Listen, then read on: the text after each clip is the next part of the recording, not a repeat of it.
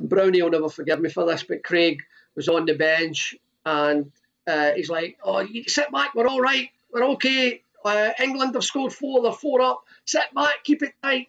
And then two seconds later, he's like, "Get forward. We need to get forward because Holland have scored. We need another goal." And honestly, we, we were like, we didn't know whether to laugh, cry, happy, sad. It was just one of those occasions where you're right on the wire, thinking we're going to qualify, and again, England let us down.